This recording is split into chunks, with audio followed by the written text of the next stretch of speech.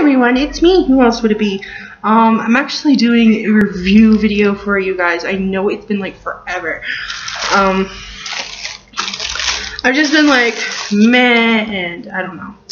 Um, money's been a little tight because I was saving up for the surgery and stuff, and you know, with the move and all that, and plus, there hasn't really been a lot that I wanted to try, and you know, just various reasons. And the channel was deleted, so technically, um, my door's open, so forgive me if you hear kids. I live across the street from the school.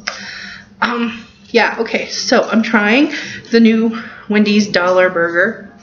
It's the Chipotle whatever, and it has this Chipotle sauce and jalapenos and pepper jack cheese.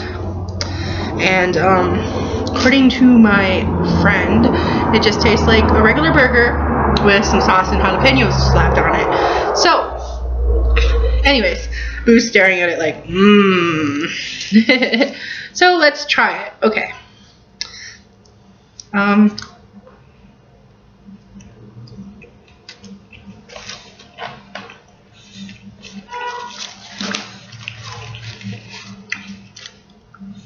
Hmm. Let's see.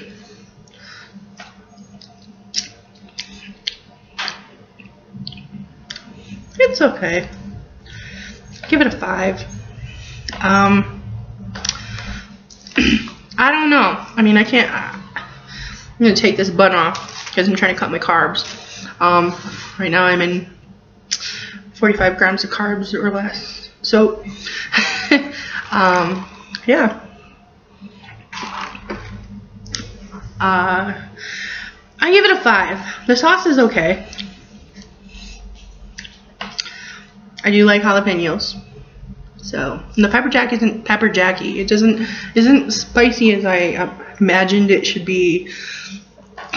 So definitely a five. Um, it's worth a dollar. I mean, come on now. And plus Wendy's has really good fresh burgers, so definitely worth a dollar. Um, so there you go. First review in a while. And I'll put the information down below and laters.